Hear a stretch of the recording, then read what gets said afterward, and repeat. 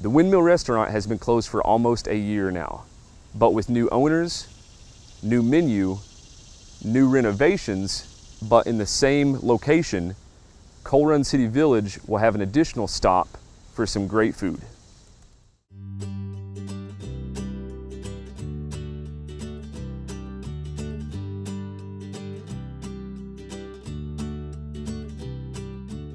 The restaurant itself has been redone.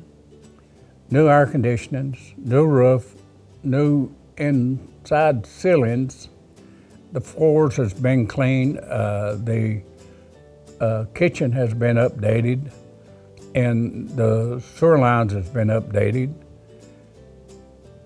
And I think that the people that uh, has just leased it, which they're going to try to open it by October 1st, uh, I think that uh, they'll be successful because it takes someone in the restaurant business that is dedicated and serious. Uh, a restaurant business is, is a hard business to run because your dependence is on people's taste. And like I said before, if you have a good cook, you serve, serve good food, uh, it'll be a success. So I'm hoping that when they people that taste the food here, that Sal's Steak and Grill, that they will come back and tell their neighbors and friends and family about it. This used to be a major stop for any and all people in the neighborhood.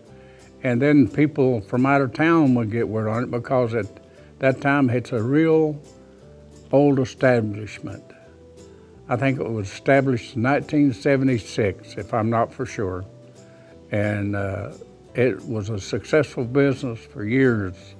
We're hoping that the restaurant uh, also will start and help bring in people to the motel because they will have a one-stop shop, uh, so to speak, that they can stay in a motel and then uh, come to the restaurant to eat.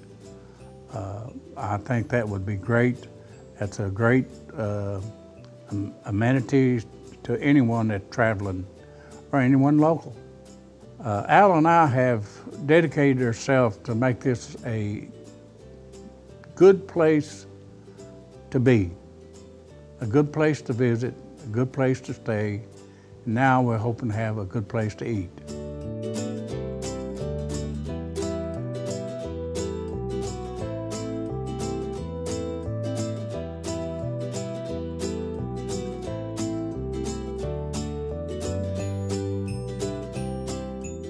Come out and uh, visit our motel and the restaurant and see the improvements that we have done and at least give us a try.